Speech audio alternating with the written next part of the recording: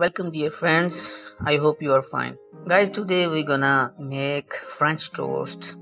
You know that is very famous among the elders elders and youngers and the same case with children.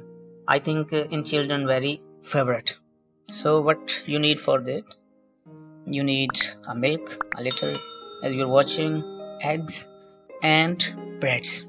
The quantity you can take according to your choice now guys break eggs into a plate.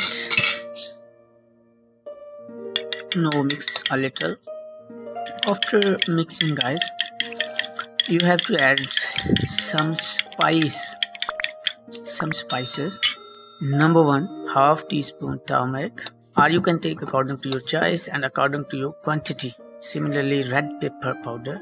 And the third one is salt again mix guys. Mix well so that all the ingredients mix together with a good manner. Now add milk 1 spoon 2 spoon 3 spoon is enough according to my quantity. And if you have a large quantity you want to make for a big family you can add more milk. Right guys. Now guys cut your breads into half as you're watching like this. Now the time of cooking. Now let's move to the stove. Guys switch on stove and add oil a little oil on your pan to make it greasy. Wait a little to heat up this oil.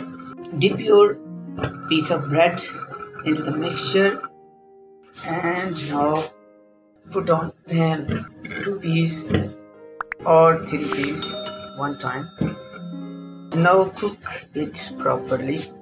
Change the side with the help of a fork.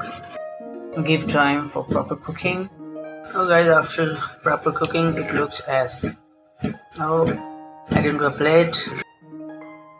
Your breakfast is ready. You can take it with a cup of tea or you can enjoy it with just ketchup guys or any other thing. You can take coffee with it.